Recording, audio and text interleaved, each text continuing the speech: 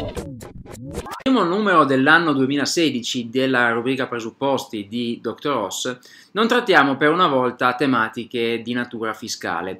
Approfondiamo però un tema che è altrettanto di stretta attualità. Rispondiamo fondamentalmente alla domanda che spesso ci viene posta nei nostri studi sulla convenienza o meno nel convenzionarsi con il terzo pagante. Il tutto eh, fondamentalmente parte da un'analisi e una distinzione tra quello che è la convenzione diretta rispetto alla convenzione indiretta con il terzo pagante.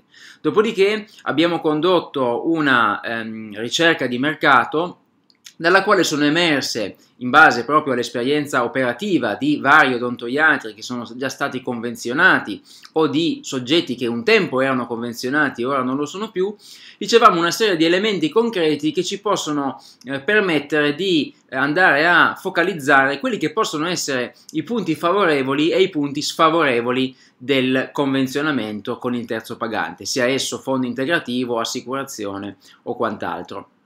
Il tutto ovviamente però ci porta, eh, e anticipo già quanto troverete nel nostro approfondimento, mh, mm, a una considerazione importante. La scelta del convenzionarsi o meno deve essere presa dal punto di vista economico solamente attraverso l'implementazione e l'utilizzo di informazioni che solo uno strumento come la contabilità gestionale o analitica di studio ci può dare.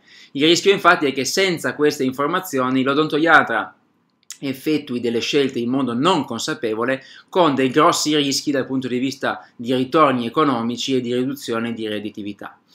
Concludiamo poi il nostro approfondimento con una serie di considerazioni su cui a nostro parere l'odontoiatra che eh, valuta, che è in fase di valutazione se appunto convenzionarsi o meno, deve focalizzare la propria attenzione. Lo ribadiamo per effettuare una scelta in piena consapevolezza e non alla cieca. Buona lettura pertanto a tutti e buon inizio d'anno.